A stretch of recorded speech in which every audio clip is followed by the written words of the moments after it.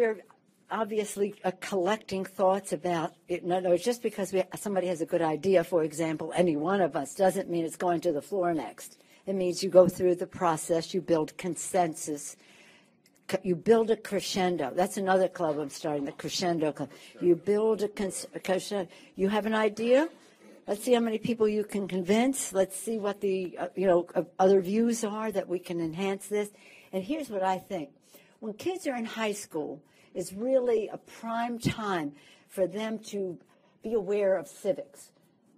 Many years ago, when I was in school, civics was a, ma- a requirement.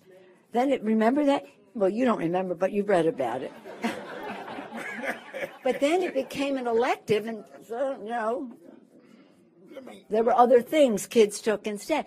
So uh, the so the point is is that when they're in high school, we see such a heightened interest in history and civics and climate and gun safety and you name it.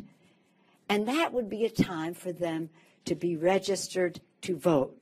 Now we want to start something that might say register to register. But you've got to get them on there because once they leave high school, not, not all kids go to college. And, and even if they do, uh, they not, might not be in that same um, uh, sense of community that they, as high school students, can make a big difference. More and more, more and more.